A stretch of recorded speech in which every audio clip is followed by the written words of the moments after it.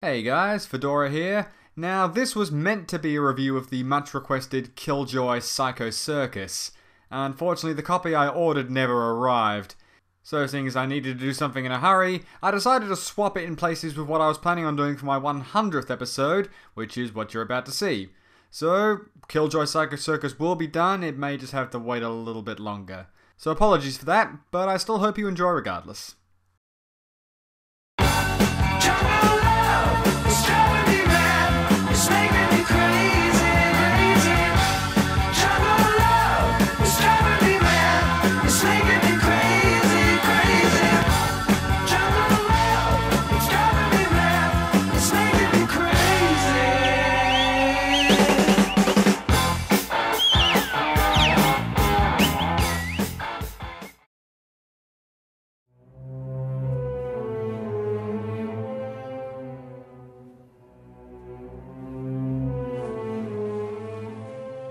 Hello and welcome to Oh the Horror.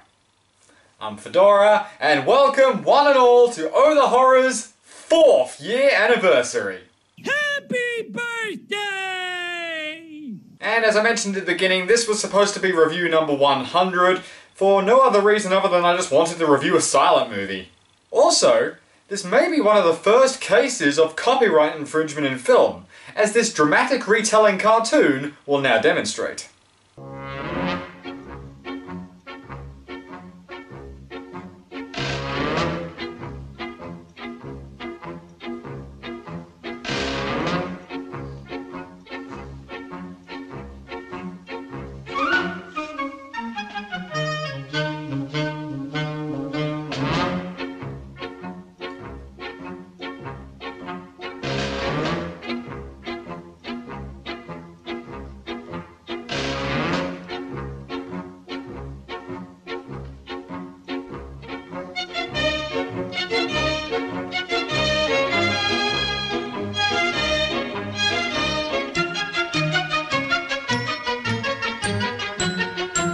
Least I'm pretty sure that's how it happened.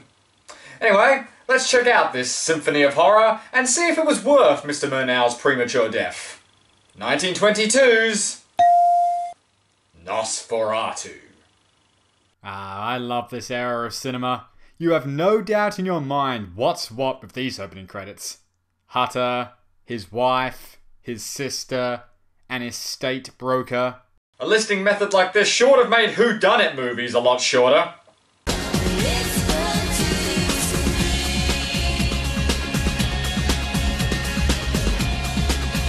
Nosferatu. Does this word not sound like the death bird calling your name at midnight? Well, sure, if my name happened to be Rah! Rah! Followed by the sound of shit landing on my car's windscreen. So, this movie actually starts in the fictional German town of Wisborg, where we meet our Harker stand in for this movie, Hutter. Huh. How long did it take you to come up with that name change, guys?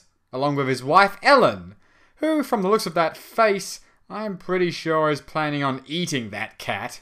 Speaking of faces, enjoy seeing this in your nightmares tonight. And what a lovely marriage these two seem to have. Together for what I can assume is many years, and yet Hutter still brings freshly picked flowers to his wife every morning.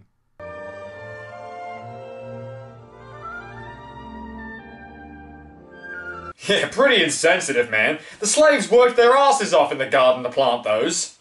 On his way out the door, Hutter runs into this guy next. Uh, what does he have to say? Not so fast, young man. No one can outrun their fate?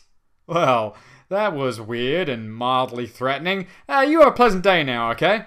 Meanwhile, at the Notre Dame bell tower, this is actually our an estate broker by the name of Knock, who Hutter works for. And he tells our hero that a Transylvanian count named Orlok is moving to their little town. Oh, fuck. Another low budget movie that takes Dracula and renames him Orlok? Are there any more similarities to that travesty Dracula 3000 I should expect?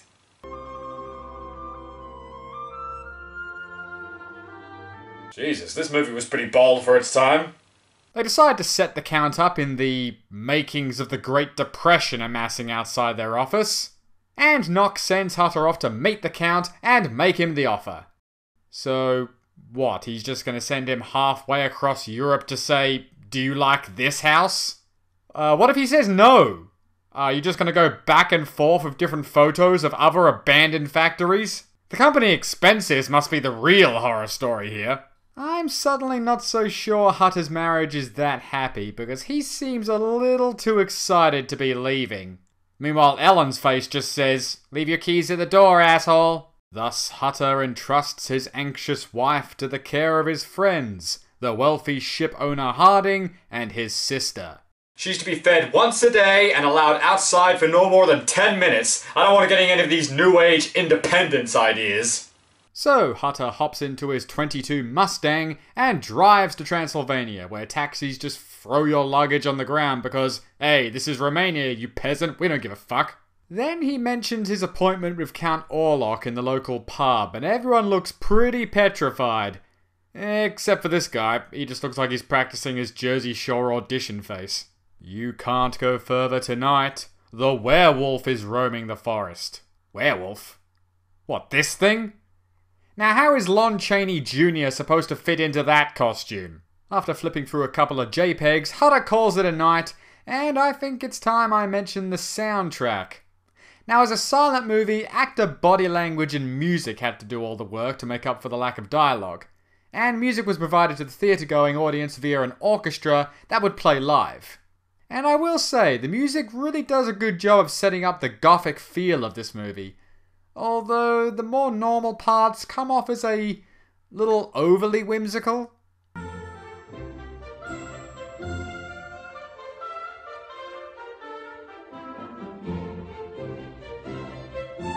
It sounds like his next word box is going to say, You there, boy, what day is this? Well, no need to worry about where coyotes now that the sun is up off to Orlok's castle, or as close to it as possible, as the drivers refuse to head over the mountain pass, forcing Hutter to continue on foot. As soon as Hutter crossed the bridge, he was seized by the eerie visions he so often told me of. Ooh, I don't like the sound of that. Oh, what sort of visions?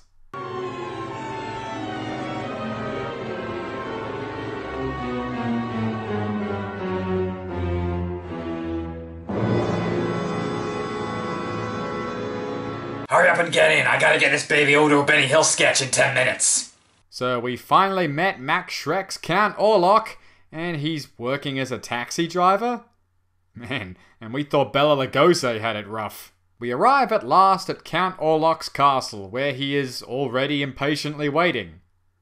So that wasn't him driving the carriage? It was just some random? Ugh. What are you saying, Nosferatu? That all Transylvanian vampires look the same? Hashtag BLM. Well, that's the end of Act 1. Oh, good, because I gotta take a slash.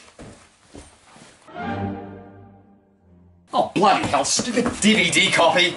Hey, things are getting a little steamy now. After Hutter cuts his finger, which gets Orlok all hot. Can we not stay together a little longer, my lovely man? It's quite a long time until sunrise. And the movie does nothing to assuade that assumption because it just cuts straight to the morning after. Dearest Ellen, I've suddenly grown a huge fetish for large, bushy eyebrows.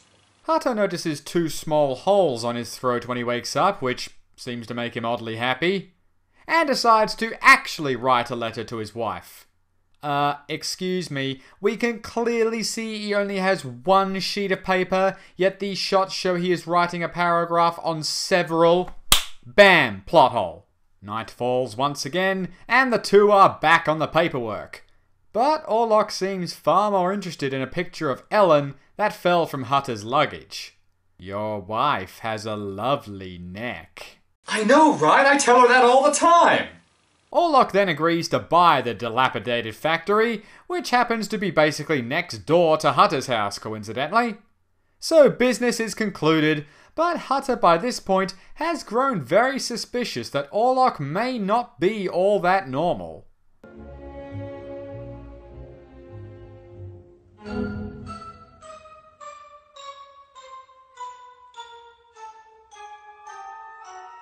Hutter! Such language is unbefitting for this era of cinema. That's right, hide under your covers, he'll never find you there. Meanwhile, Hutter's friends aren't keeping an eye on Ellen, and what happens then? She starts sleepwalking. This never would have happened if we just put her in a cage like her husband asked. Thanks to Ellen's strange behaviour, Orlok leaves Hutter alone, and the next morning, instead of legging it like any normal person would, Hutter sticks around to witness more of the vampire's power.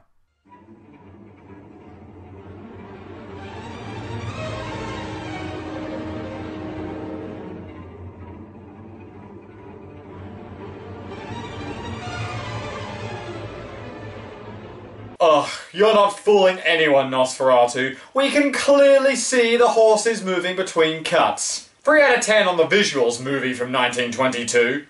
Orlok has now ditched his castle and is on his way to the new place, which brings us to the end of Act 2. So he should be able to make it from Romania to Germany in the time it takes you to grab a packet of Maltesers from the candy bar. Act 3 opens up with Hutter having escaped the castle and being cared for at a nearby hospital. Not that he has to hurry back or anything because his boss has recently been put in a mental institution.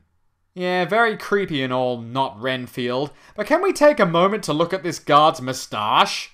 Forget the ship, Orlok, you probably could have brought all your coffins along on that thing. We also meet our Van Helsing for this movie, Dr. Bulwer, who should probably be getting back to Diagon Alley to sell some wands. Hutter, knowing that there's a vampire after his wife, is determined to get back to Germany ASAP.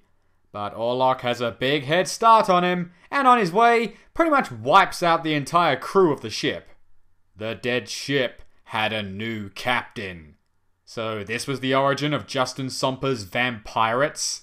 Act 4 begins by telling us that Orlok uses his powers to make the ship move with supernatural speed straight towards the still delirious Ellen, who at this point is currently proposing her love to this tree. And it works, as his ghost ship finally drifts into Windscore Harbour, with Orlok poking his head out, looking like a drunk celebrity sneaking out of the back door of a paparazzi surrounded nightclub. uh, it kind of takes away from the horror of the whole thing a little bit, seeing this guy stumbling around the streets with his coffin like some lost pizza delivery boy. I also like the way he looks at the building he just bought, like, Shit, I spent 14 whole dollars on this. Meanwhile, Hutter finally makes it home to his wife, who clearly hasn't been fed or watered since he's been gone. And the police, led strangely by Jack the Ripper, do a once over of the corpse filled ship and bring in some local brains, including Boogie 2988's grandfather, who determine that plague is the most likely cause of death. Bolt all windows and doors! Too late, guys. Plague has already chopped down your doors and stealing all your stuff. Act 5 starts off with some young scoundrel doing some tagging. Oh, wait. I guess Orlok has been busy in the couple of hours he's been in town? If some time was meant to have passed since the last act, what the hell has Hutter been doing this whole time with a murderous vampire living across the street from him? Can we come out now? No.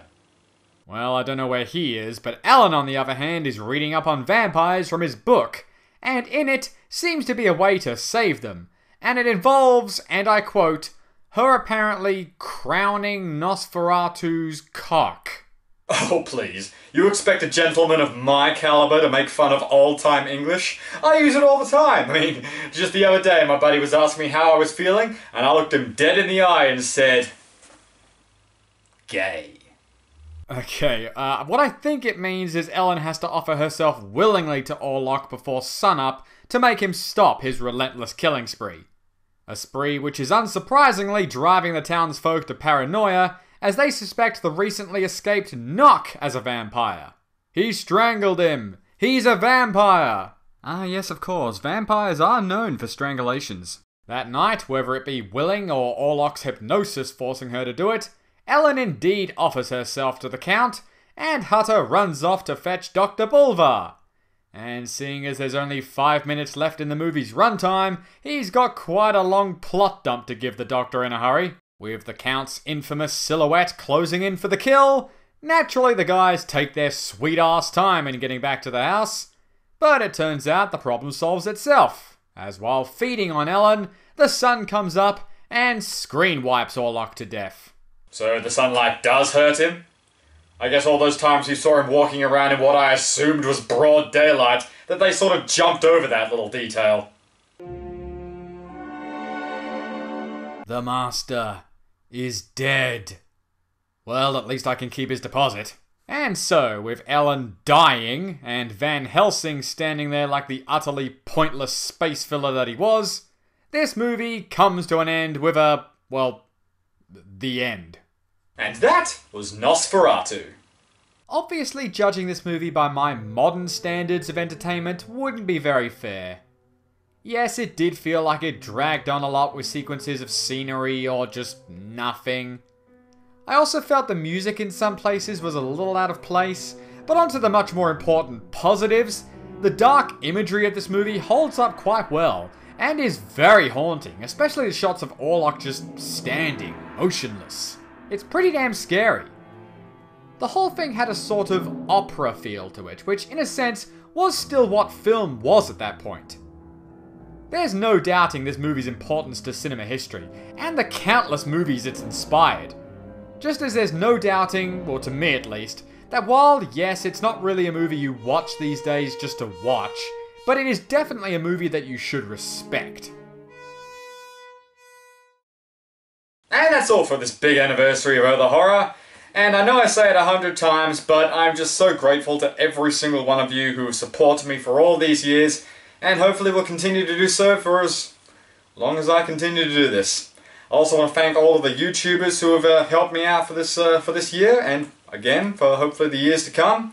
Notables, of course, include Bobsheaux, Shades of Dat Game, Cartoon Hero, Sebastian Veno Martinez, Brian Gatto, Confused Reviews, and so many more. I've loved working with all of you. Well, that's all from me for tonight, so I'm Fedora, this is Oh the Horror, save a screen for me, and we'll see you next time.